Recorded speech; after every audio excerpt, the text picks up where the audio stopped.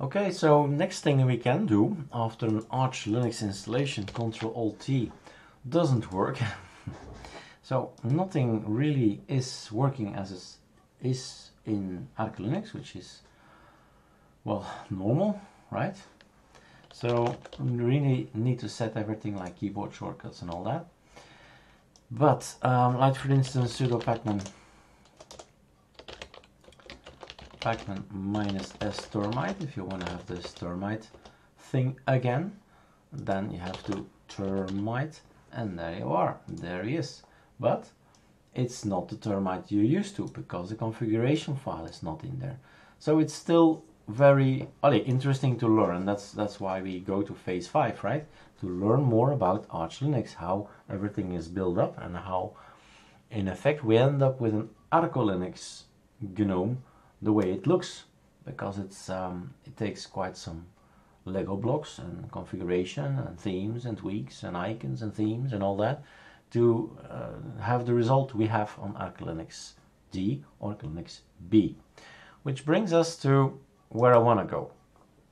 So either you say I'm gonna type everything in sudo pacman minus s termite and then firefox and I like Vivaldi etc or you start by making scripts yourself. And you can of course use and reuse our scripts. So on ArcoLinuxD, dismiss, we have lots of scripts. Per desktop you'll find all the scripts you need. So here it is, Arco GNOME. There is a search up there that you can use. And I'm gonna git clone this one. So this URL is now copy pasted in my memory of my computer, of course. And I'm going to, well, maybe first to files and then have these lovely icons, too big. And then we are going to, going to be structural about its so D. that's the GitHub where it comes from. And then right here, open in terminal, I'm gonna say git clone. But probably git is not installed because those things are done on Arch Linux. As you can see, it was not installed. So git clone, Control Shift V, save, Arco GNOME is in. So that means that the scripts to install our system, the automated way, not typing it in the terminal one by one, but say, okay, let's let's say you want the sound, let's say you want Bluetooth and printers and so on. You start by running these scripts or editing these scripts like 200 I think you should really take a look at it and see what do I need in this 200 oh well it was opened with builder it seems. Doesn't don't care what it's opened with so that's okay. But for instance catfish is something that's um, interesting to search elements. It actually comes from XFCE so you might say no nah, I don't like it C-matrix is just for fun. You've seen it once, you've seen it twice, so out. And you can keep going like this. The plank, do we need a plank in GNOME? Debatable. It's anyway very personal. So you choose what you install. And this goes on and goes on and goes on. You check out the elements that are in here and you say, oh yeah, I do want GIMP or no, I don't want GIMP. Then it's just an hashtag out, save it, and that's it.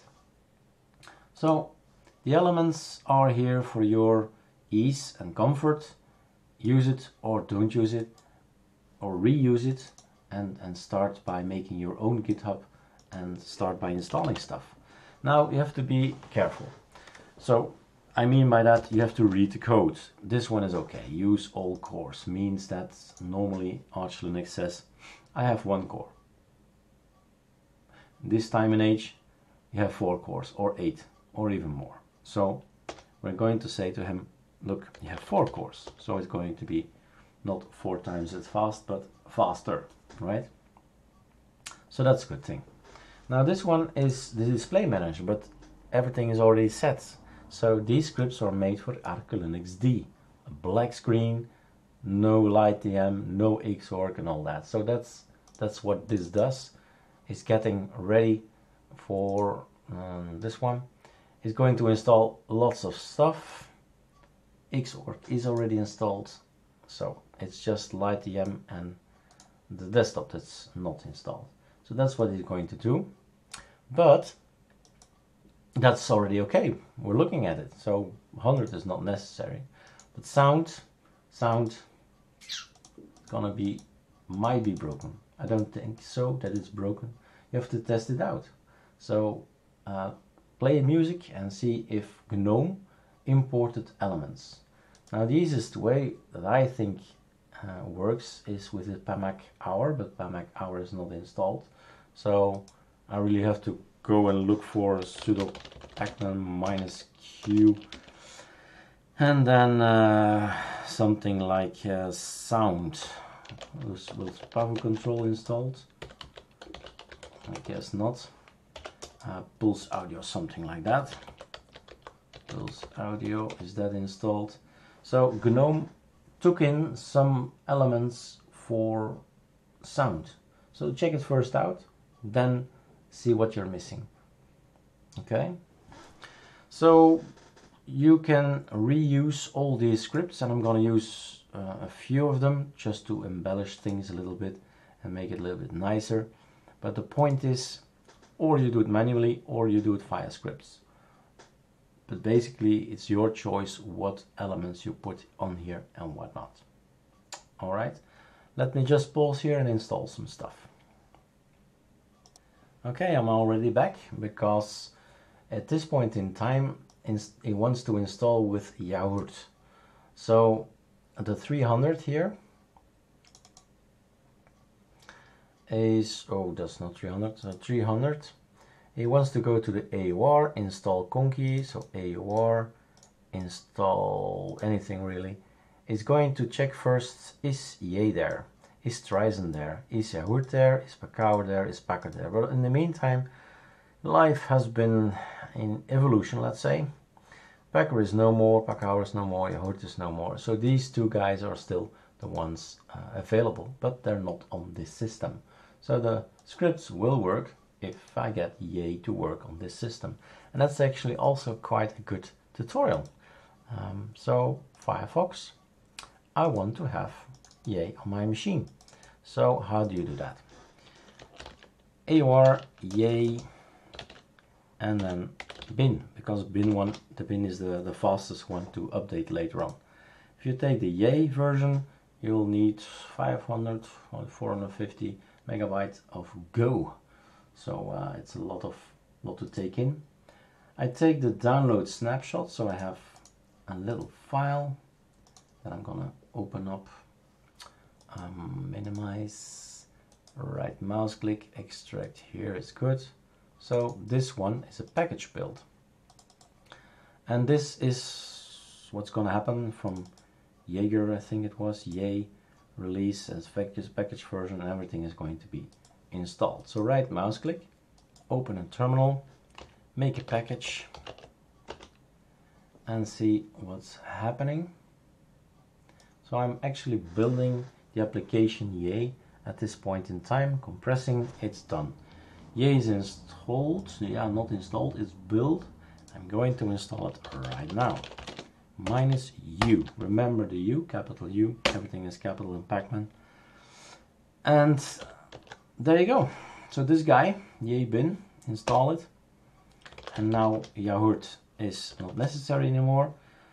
This is a copy paste from uh, six months ago. Yaourt was alive and kicking back then.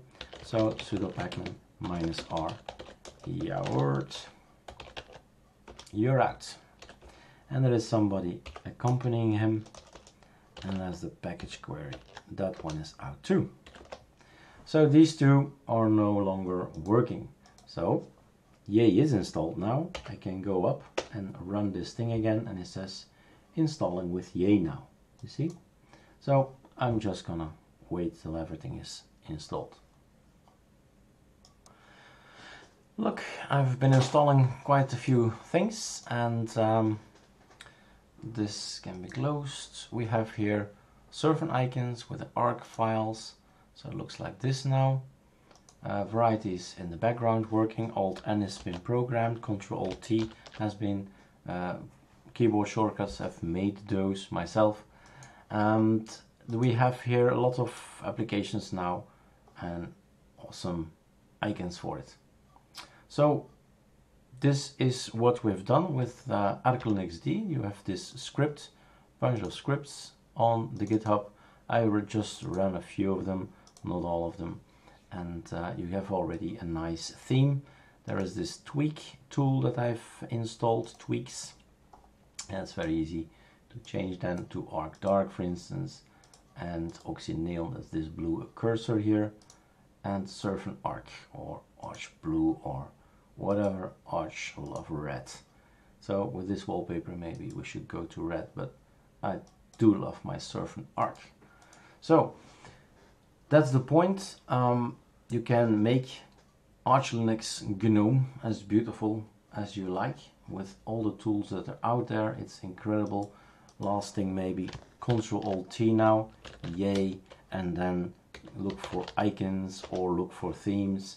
It's just amazing how many people are contributing elements to well to your system.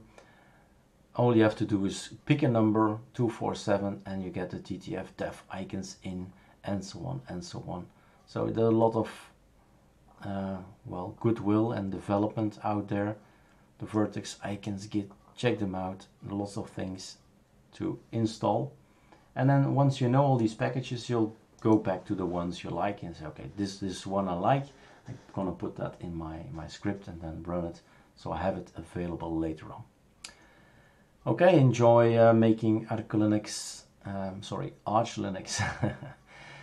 beautiful and the next video is going to be about getting things extra in because the only thing you can't get in at this point in time is software from our packages from ArcoLinux repo. That's not possible on Arch Linux unless you do something. So that's next one